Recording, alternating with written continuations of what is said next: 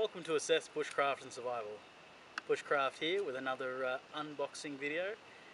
This is uh, some kind of lant. I've not seen this, I've not used it, I've got no idea uh, how it works, what it's good for. It also may need batteries, so I may need to stop the video and, uh, and collect some, but let's have a look-see.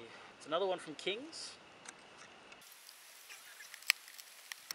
Now remember guys, whenever you go out to the bush, whatever trash you bring into the bush, you take back with you, yeah?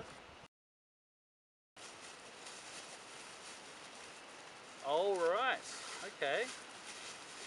So I read the front of it, and the front of it says that it's a lamp fan. Have you ever used a lamp fan before? Neither have I, which is why I was confused. But, having a look at it now, I see that the description was very apt. This isn't indeed a lamp fan. Uh, you can see it's embroidered with the, uh, the King's logo there. Got a couple of different settings here, on, off, uh, high, off and low for the fan. And it also looks like, yeah, the lamp and the fan are independent. So you can have the fan blowing at you and the, or the fan blowing away and the light at you. And, um, okay, this is interesting. Cool, this moves very easily. You can hear that click.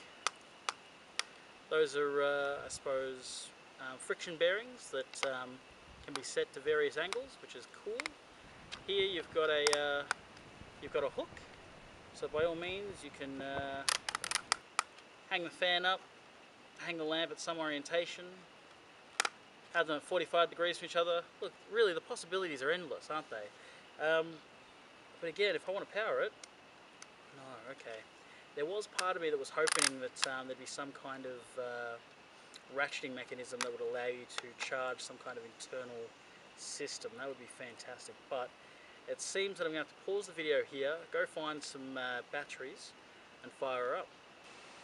Alrighty, before we stop, let me just have a look here at what kind of batteries. That was easy, it just pops off.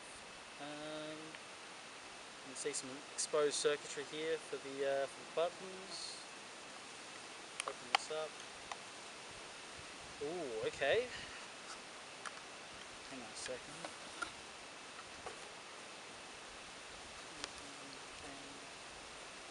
Right, so here's a problem with conducting videos on the fly like this.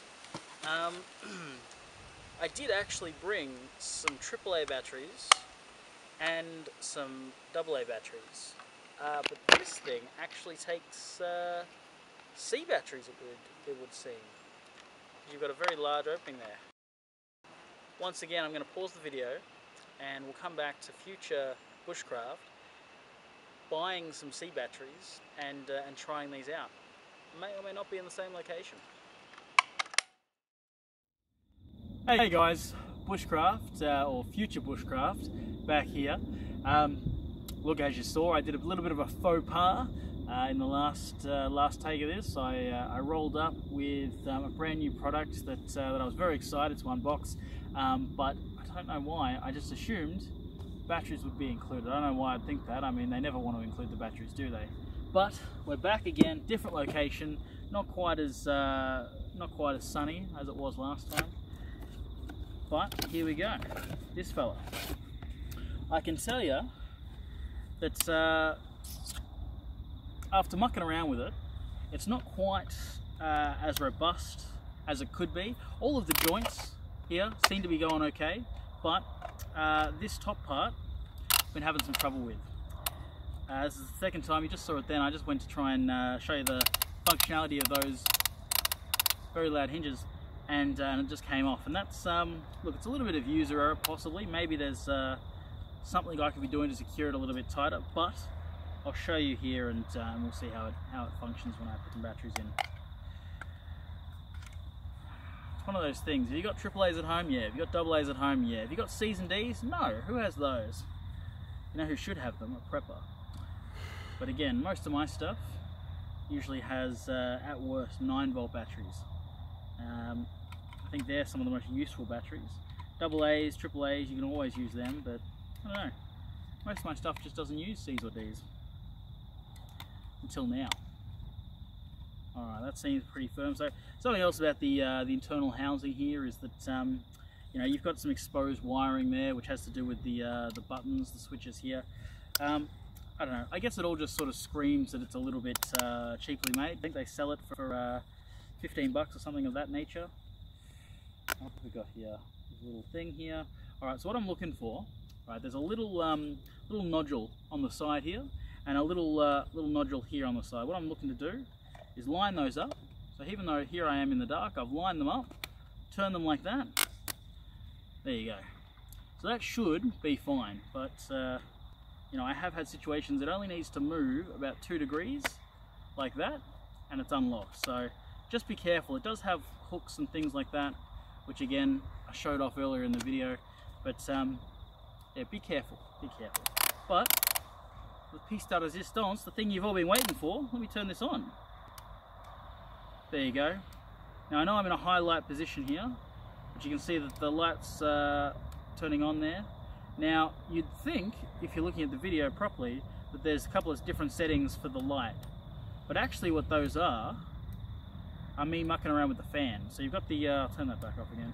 You've got the fan there, right, and there's two switches, one on the right, one on the left. One turns the light on and off. The other, I don't know if you can hear this, turns the fan on and off. So something that this demonstrates, and something I didn't notice before, with the light on, no worries, illuminate your situation, but as soon as you start to muck around with the fan, you can see that it's diverting energy away from the light source so that you can power the fan. Not necessarily a big deal, especially if all you're doing is using this as an auxiliary fan to uh, generate some airflow through a tent, for example, or, or a swag.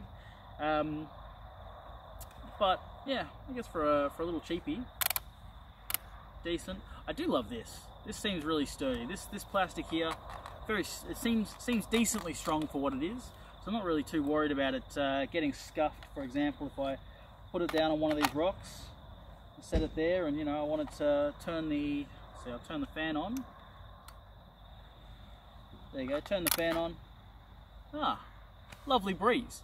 But um, the same thing here. The plastic on the front is um, at least of a decent quality. It isn't exactly a flat surface, but at least a decent quality that if I wanted to do this and have it sitting out somewhere, I can get it to sit somewhere. Here's where the not so flat bottom comes into play.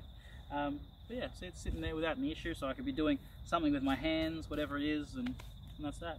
It's, uh, it's the King's uh, fan and light system. That, uh, look, if you're looking for a fan, um, and you happen to be dealing with Kings anyway, I don't see any reason not to go for this. So there you go. Anyway guys, sorry that it took so long for, well I guess it didn't take so long for you guys, because for you guys it was a second.